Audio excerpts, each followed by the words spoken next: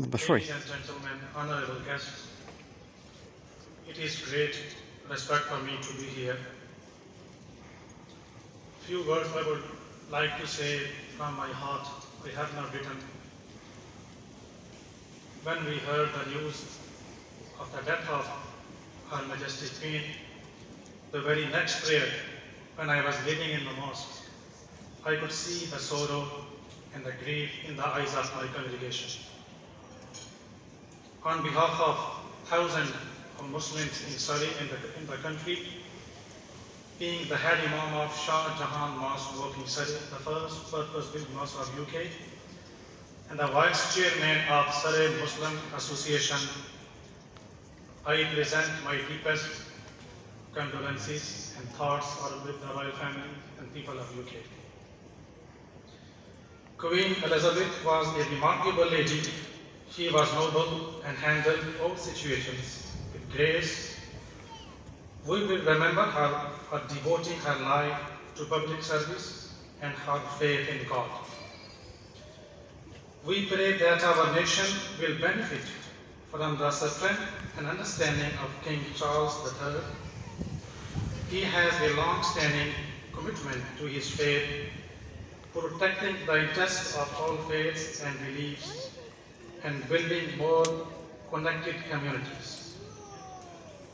We pray the everlasting Lord, the God Allah Almighty, the Most High, the Most Merciful, helps us to follow the shining example of our great Queen to serve people with full dedication. The most kind Lord guide our King Charles III with vision, wisdom, and strength as he assumed the momentous responsibility of distinct leadership in our country and the Commonwealth.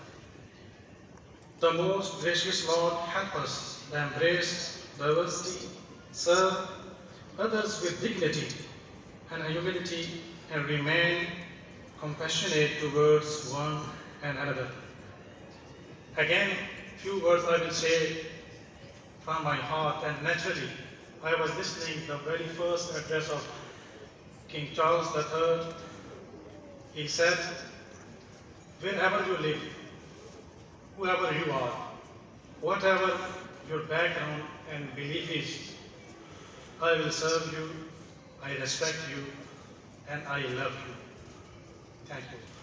God save the King.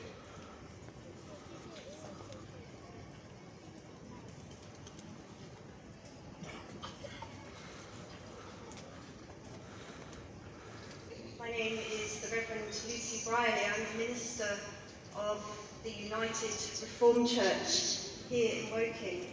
As we stand here together, gathered as a community, we look around at our fellow citizens of our borough.